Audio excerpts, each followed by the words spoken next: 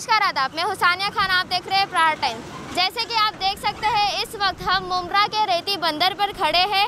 आप देख सकते हैं कि यहाँ कितना खतरनाक हादसा होते होते बचा है। यहाँ ट्रक जो है, वो पलटी हो चुकी है प्याज से भरा ट्रक, जो कि अलीबाग जा रहा था। सुबह तीन बजे ये हादसा हुआ है, मगर अभी चालक का कहना है कि स्पीड ब्रेकर ना दिखने के वजह से ये हादसा हुआ है। आप देख सकते हैं, यहाँ स्पीड ब्रेकर जो है, यहाँ पे कोई भी वाइट पट्टी या रेड अलर्ट की पट्टी नहीं लगी हुई है, जिसके वजह से लोगों को दिखाई नहीं पड़ता है।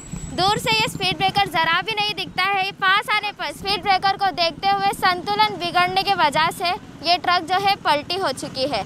आप देख सकते हैं कि किस तरह से कांदे का नुकसान हुआ है, कितने सारे कांदे रोड पे बिखरे हुए हैं, सारे प्याज बिखरे हुए हैं रोड पे। और आप देख सकते हैं किस तरह से ट्रक जो है पलटी हो चुकी है। मगर फ़िलहाल किसी के भी घायल होने की खबर नहीं आई है, कोई भी घायल नहीं हुआ है। बस ये है कि सारे प्याज़ों का काफ़ी नुकसान हुआ है। ये ट्रक अलीबाग जा रही थी। जैसे कि आपको फिर से बता दें कि तीन बजे ये हादसा हुआ है, सुबह के तीन बजे। तो अब हम बात करते हैं चालक से कि आखिर ये हादसा कैसे हुआ। जी नाम क्या है आपका? यूसुफ खान कदीर खान। तो ये कैसे हुआ ये हादसा? ये ब्रेकर की वजह से। ये ब्रेकर बहुत बड़ा है और उस पर ना सफ़ेद पट्टा है ना लाल रेडियम है। और दूर से वो दिखता नहीं। करीब में आके देखे तो ब्रेकर दिखा। ब्रेक मारे तो जंपिंग होके गाड़ी पलटी हो गई।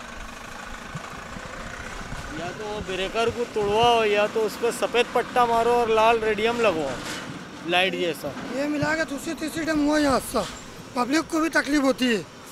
अभी खैर हमको तो लगी नहीं है। कितने बजे ये हादसा हुआ है? रात में तीन साढ़े तीन बजे। रात में साढ़े तीन बजे हुआ। कोई घायल हुआ है? कोई घायल हुआ है? नहीं कोई घायल नहीं कोई घटना नहीं हुई है। बस गाड़ी का नुकसान हुआ है और माल फेंके गया है। ये मिला के चौथी पाँचवीं टाइम हुआ है। एक तो इस पर सफ़ेद कलर मारो या तो ब्रेकर तोड़ो। ये हमारे सेठ का फ़ोन आ रहा है। कहाँ से जा रहा था? ये चांदोड़ से अलीबाग जा रहा था। चांदोड़ से अलीबाग।